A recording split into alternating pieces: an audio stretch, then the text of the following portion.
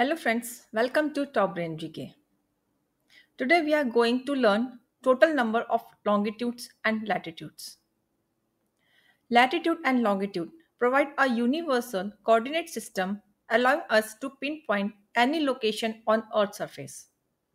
They are very important for navigation, cartography and understanding global patterns. But have you ever wondered how many latitudes and longitudes are on the standard globe? Then join us for the right answer. Longitude lines, also called meridians. These are imaginary lines that run from the North Pole to the South Pole on the Earth's surface.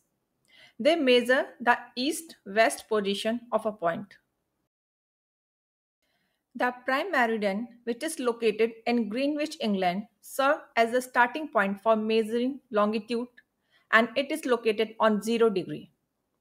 Longitude increase to 180 degree eastward and 180 degree westward from the prime meridian, forming a full circle around the globe.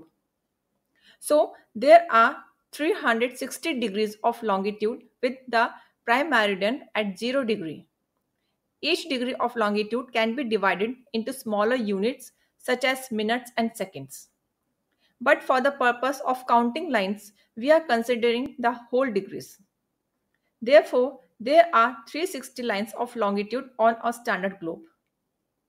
Longitude are used to determine time zones and to establish a global coordinate system for navigation and mapping.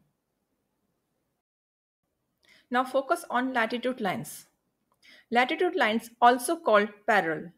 These are imaginary lines that run parallel to the equator on the Earth's surface. They measure the north-south position of a point relative to the equator. The equator is 0 degree latitude and serves as the starting point for measuring latitude. Latitudes increase northward to 90 degrees at the North Pole and southward to the minus 90 degree at the South Pole. Latitude are typically spaced at interval of 1 degree, with the equator included. Therefore, there are 181 lines of latitude on a standard globe. Total number of latitude equal to 180 degree plus 1 for the equator. So, total number of latitude is 180 plus 1 equal to 181. Latitudes are used to determine climate zones as well as for navigation and mapping purpose.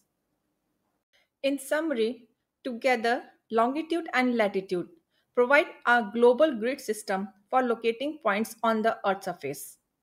A standard globe would have 360 lines of longitude and 181 lines of latitude.